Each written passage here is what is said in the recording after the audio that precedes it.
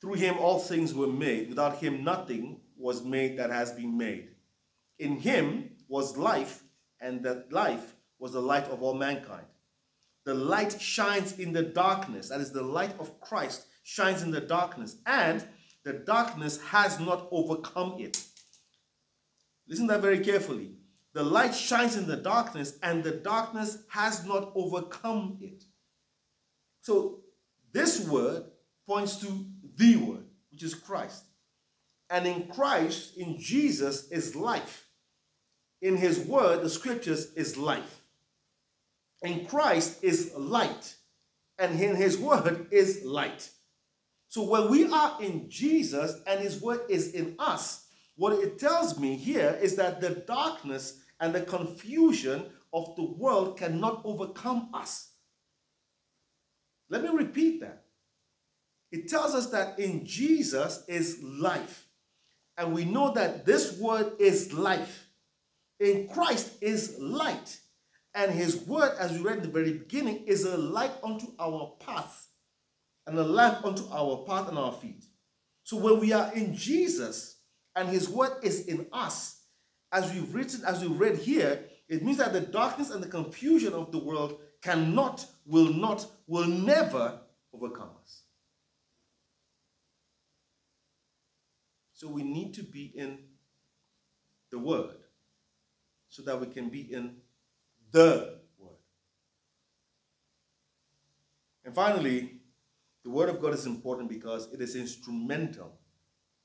It is absolutely critical for us to build, for us to develop, and for us to strengthen our faith. Without the Word of God, we cannot build, we cannot develop, and we cannot strengthen our faith. Need the Word of God to strengthen, to build, and develop our faith. What does Romans 10:17 say to us? Romans 10:17 says, Consequently, faith comes from what? Hearing the message. Faith comes from hearing the message or reading the message. And the message is what? The message is heard through the word about Christ. Faith comes from hearing the message or reading the message, and the message is nothing else but the words about Christ. That is his word. So the only way that our faith is strengthened is by being in the word of God, by meditating upon the word of God by hiding His word in our hearts, in our minds, in our lives. I said in the very beginning that if there was a traveler going on a dark road, on a journey, on a dark night, there was no light, and he had a lamp available to him to guide his steps, to guide his journey so that he can get to where he's getting to successfully. And he refuses to take that lamp with him.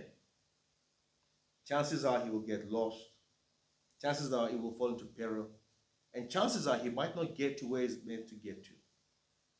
It's the very same thing with the Word of God. The Word of God is a spiritual compass and it's meant to help us navigate our way to eternity. But if we neglect this Word, which is the lamp, and the light unto our path and our feet. Unless we are in the Word, being led by the Word. Number one, we will not get very far in our relationship with God. Number two, it's very likely, far more likely, that we'll be more like the world and less like Jesus. Number three, it's very likely that we will be falling under the influence and deception of the world. And number four, it's also very likely that will not get to our ultimate destination, which is eternity. The Word of God is a lamp to our feet and a light to our path. And the only way we can deepen our relationship with God is by being in His Word and obeying His Word. I'm close once again by reading Joshua once again for us. What did the Lord say to Joshua? Keep this book of the law always on your lips. Keep this book of the law always on your lips. Meditate on it day and night, so that you may be careful to do everything written in it. Then, then, then you will be prosperous and successful. That is God's condition. If we want to enjoy the favor of God, if we want to enjoy the blessings of God upon our lives, we have to keep His word. We have to be in His word. We have to obey His word. Then we'll enjoy the favor and the blessings of